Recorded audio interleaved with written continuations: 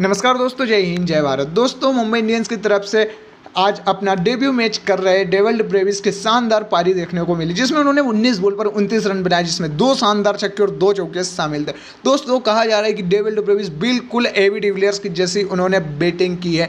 Commentator ने भी यह बताया है कि उन्होंने बिल्कुल डेविल्ड ब्रेविस ने एवी डिविलियर्स की जैसे बैटिंग करते हैं बट एवी डिविलियर्स के बिल्कुल कॉपी टू कॉपी आपके इस विषय में क्या रहा कमेंट में ज़रूर बताएँ, और आपको डेविल्ड ब्रेविस की बैटिंग कैसे लगी, हमें कमेंट में ज़रूर बताएँ। रोहित शर्मा ईजान किसान आज लंबी इनिंग नहीं खेल पाए, उसके बाद डेविल्ड ब्रेविस ने 19 बॉल पर 29 रन की इनिंग खेली, जो कि बहुत ही बढ़िया थी, जिसमें दो शानदार छक्के शामिल थे। दोस्तों, साउथ अफ्रीका के यह धाकड़ बल्लेबाज, जिन्होंने अपने अंडर 19 वर्ल्ड कप में पचास, पाँच रनों से भी ज़्यादा रन बनाए थे, और यह पहले ऐसे बैट्समैन थे जिन्होंने साउथ अफ्रीका की तरफ़ से सबसे ज़्यादा रन अंडर 19 वर्ल्ड कप में बनाए हैं। दोस्तों आईपीएल से जुड़ी हर नई ताज़ा खबर को जानने के लिए हमारे चैनल को सब्सक्राइब करो। वीडियो पसंद आए तो वीडियो को एक लाइक ज़रूर करें।